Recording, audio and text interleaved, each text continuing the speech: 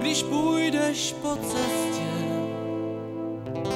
kde růže vadnou, kde rostou stromy, bez listí, tak přijdeš na místo, kde tvý slzy spadnou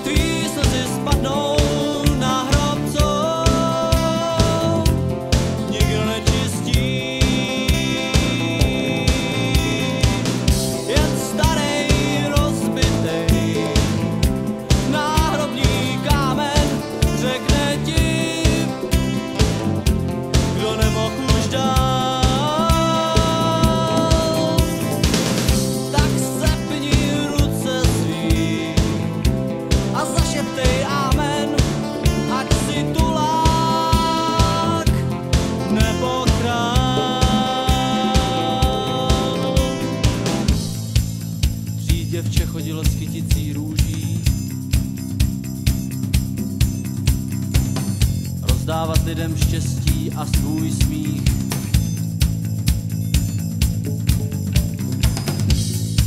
Očí maloval sám Bůh černou tuží. Pod jejím krokem tál sníh.